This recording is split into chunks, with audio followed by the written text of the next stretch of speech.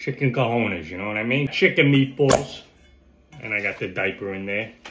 A little blood pressure in and do the twist. Red pepper. Need a ton of heat on this fucking one. Provolone. Little carbohydrates. Gotta get your energy somewhere. Made fucking grated cheese.